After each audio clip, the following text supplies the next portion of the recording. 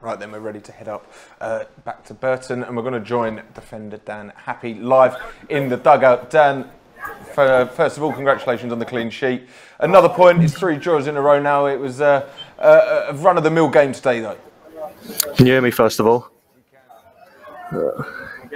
you can, yeah. Yep. Uh, yeah, three draws in a row. Um, obviously, defensively, it's been good. Kept a clean sheet, but uh, we're better than that. You know, uh, we thought we could get three points today. We thought we'd get three points Tuesday. It's something definitely to build on as with the clean sheet, but uh, yeah, as I said, it's got to be better. And you've we've switched recently to the back three, or, or, or, maybe a five if you count the wing backs, and you're playing in the middle of that. Um, how are you finding that role and, and, that system for you? Yeah, it's nice. Everyone wants to play uh, middle of the back three, don't they? No one wants to be outside the back three. Um, I'm enjoying it at the minute, um, but we're very, we're very versatile. As you can see, the last ten minutes went to a back four as well, so uh, we could do whatever. But yeah, it's been good. It's been decent. And we had a few chances to win it today. Uh, there, there, was a couple of chances and some really good saves from Crocombe in, in goal for Burton. Uh, it, it, just felt like it wasn't going to drop for us at, at, times today, though.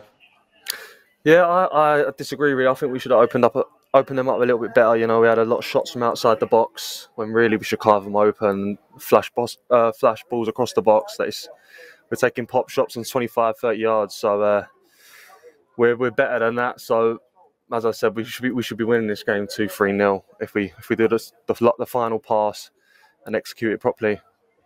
And a massive blow in the first half with Jordan Graham uh, going down with what looked like a, a knee injury. It's a, a big blow to lose a, a player who's such a influential attacking outlet in, in the team, even when he's playing from from wing back. Yeah, definitely. You know, he brings so much quality um, when he's on the pitch. The balls he provides. Um, he's got a lot of assists for us at the minute, so um, he's going to be a big miss, and uh, we're all sending him our love. Daniel, um, uh, it's, it's been a really interesting week because Tuesday night felt like you know that, that last minute equaliser was was a, a great moment, and then today felt like just a fairly a stodgy affair. Um, but two away games where you're getting two draws. What's the mood like in the dressing room? It's not great, if I'm being honest. Uh, as I said uh, previously, we feel like we should be coming away with these with three points. But the mood, the mood Tuesday was obviously good. Last minute uh, equaliser, and then you come here today and you expect to get three points really. So uh, the boys are a bit down, but all we can do is move on onto Saturday FA Cup, try and get a good cup run we'll just go from there.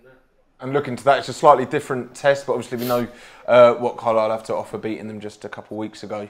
Uh, probably a, ch- a, chance for Richie to maybe give some other players some chances as well, but it's a, different competition and a, a, different kind of a different challenge. Uh, yeah, def- definitely. Um, it's going to be a dogfight. We played them, as you said, a couple of weeks ago, and it was a dogfight. Uh, might get some fresh players on to get freshen up a bit, um, uh, see what we can do. But we're going to go into that trying to get a good cup run, and uh, as I said, we'll just go from there. Just finally, a thousand fans for Leyton Orient's first ever game at Burton. They've been in immense voice recently. There's been a lot of away games, the drums banging loud and clear. Um, we're feeling it from here in the studio. It must be fantastic to have their backing from the stands.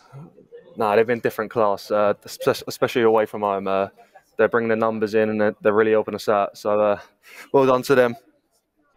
Well, Dan, thank you so much for joining us. We're going to let you go and uh, safe travels home and send Jordan all of our love as well. Have a fantastic evening. One, boys. Have a good See weekend. you later.